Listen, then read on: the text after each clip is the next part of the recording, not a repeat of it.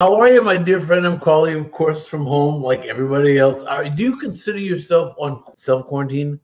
I do. Are you not letting anyone in? I am not letting anyone in. Because you don't want your cats to be harmed. Cats won't be harmed. This was the whole thing was a conspiracy by cats to keep all of us home. to make sure. This is a Persian cat. This is a Persian cat. The father and mother are also my cats, and this is the only one that they have produced. Well, I want to start out here by mentioning that, of course, as you well know, had we and my beloved Sharon gone through with our plans to visit Iran, we would still be in Iran now. 36 hours before we were going to leave, the airline, uh, I think it was Austrian, I think it was Austrian Airlines, stopped flights out of Iran because of the coronavirus. Man plans and coronavirus laughs. Ah, very good, very good, very good. Less funny, however, is that your beloved bride is in Iran now and unable to leave. True. Yeah. How are things in Iran?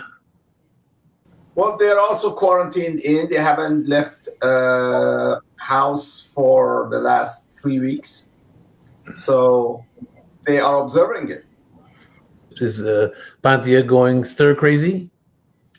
Yes, of course, everybody is, and uh, you know, good thing is that they're all together, and I'm here with my five cats. So, so you don't feel lonely.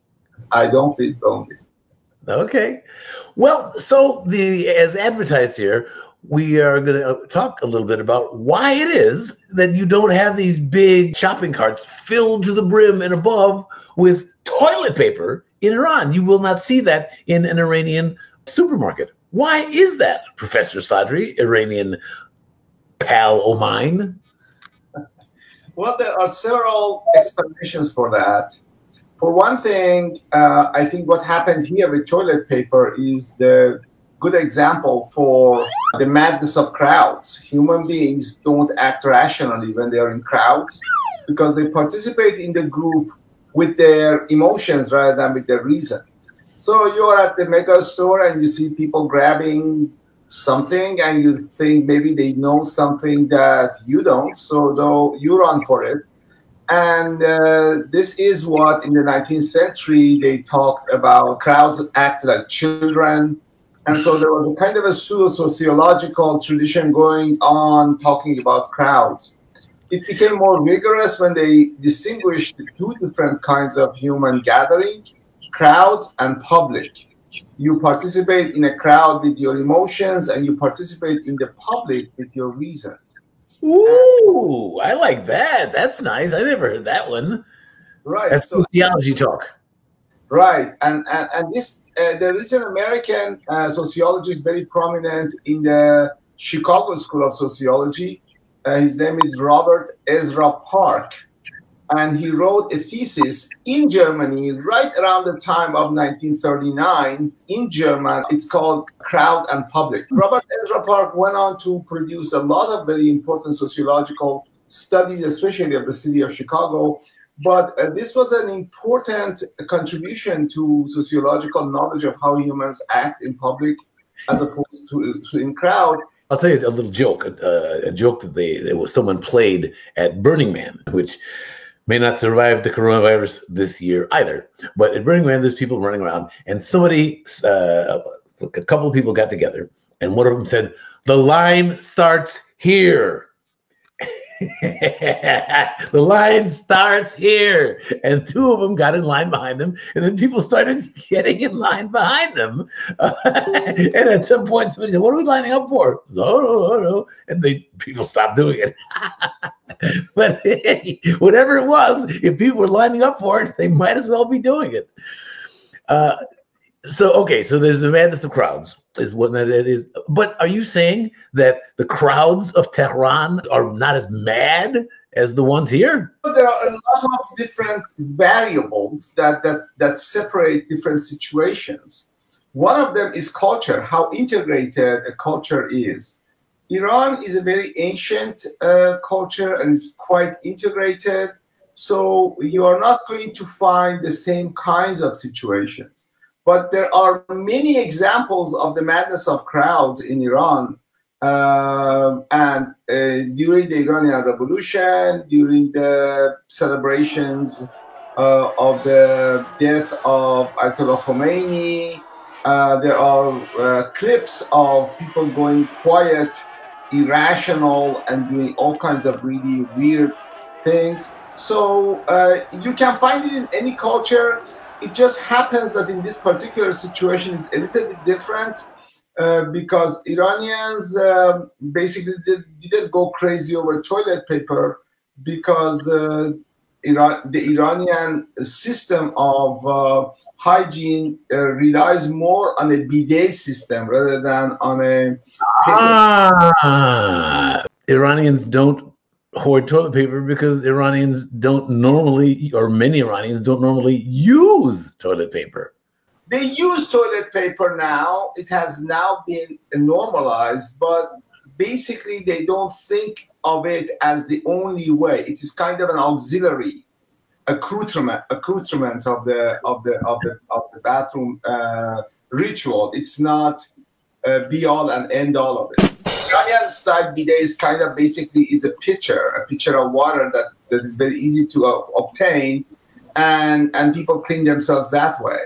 And it is part of the Islamic system. You actually wherever you go in the Islamic world, you're going to see the the pitcher and the water present in every bathroom. Are people panicked in Iran? Because the situation is much more dire for them than in the U.S. They, they've been hit by sanctions and now this and this very high, you know, this high level of uh, travel restrictions everywhere and this high level of infection. So are people just feeling like, what, what, what, WTF? Right, but again, the, th- the situation in Iran in the last 40 years has almost never been normal.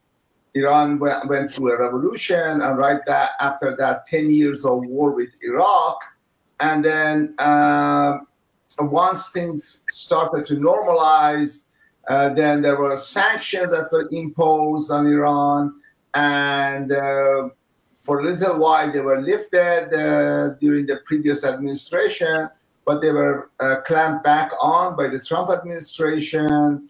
And uh, in the recent past, Iranians have had experience with almost a hot war with Americans.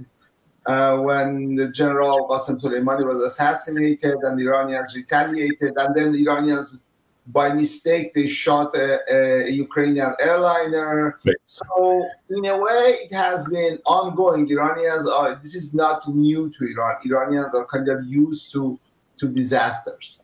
Uh, the source closed are the restaurants closed? Restaurants are not closed in Iran. Again, we are going in that direction. Iran is kind of in a situation uh, not unlike Italy. It could be very disastrous, but uh, there was a celebration of uh, the kind of an ancient pre-Islamic fire celebration a couple of nights ago, right before the upcoming New Year, Persian New Year, and a lot of people were disregarding the quarantine and celebrating it. Some people have been insisting that religious tombs and, and mausoleums should not be closed, although the government, that is a theocracy, is insisting they should be closed. Some people are defying that. So there is some of that going on in Iran, although increasingly we are going towards a kind of a martial law where the Revolutionary Guards seem to be able to move in and basically impose a kind of uh, lockdown. Now, you know, this is one of the things that I find sociologically fascinating, which is the ease with and comfort with which Americans accept the National Guard moving in to Dick Van Dyke's neighborhood to rob to New Rochelle, rob so and but and none of nobody bats an eye because okay, it's a, it's a danger. So oh, fine, police state tactics. And again, not to say that that you know that we are on our way to fascism or anything, but it's just interesting to me to note how easily we accept it when you just add a pinch of fear. Yeah, we all we all have seen this in, in disaster movies, haven't we? You mean that when the, the state comes in with a heavy hand? Right, right. So in a way, people kind of recognize that when uh, situations are dire, there may be a place for the iron hand and imposing of the order to prevent chaos. So it is something that you know people are are are accepting as a as a force majeure kind of a emergency situation. What are your thoughts to sciencely optimistically say goodbye to close out this one? Well, I mean, my idea is that we shouldn't only look at people's people at their worst, which is you know uh, this irrational hoarding of, of toilet paper and hoarding behavior. When disasters hit, where human beings move in two directions. One is a chaotic kind of crowd behavior direction, and the other one is the kind of uh, moving towards solidarity. People holding hands, helping the elderly, uh, helping each other. There's kind of uh, it's kind of uh, the opposite movement to that chaotic, selfish, uh, bestial uh, behavior. There is quite humane and human solidarity that kicks in, and we are seeing many examples of that as well. People contribute. in the NBA, we have NBA stars who are paying the salaries of the uh, the staff in the stadium. Right. That would be one example. Another example, people kind of helping the elderly, bringing them them food and things like that. So uh, yeah, there is good news and bad news, and it's all not all bad news.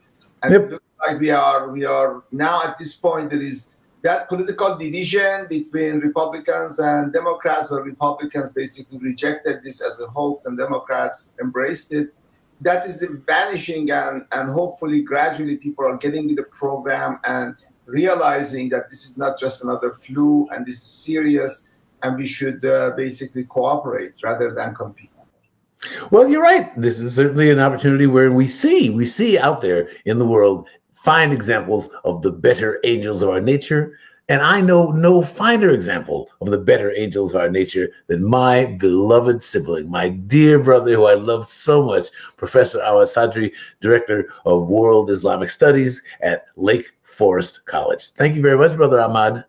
Thank you very much.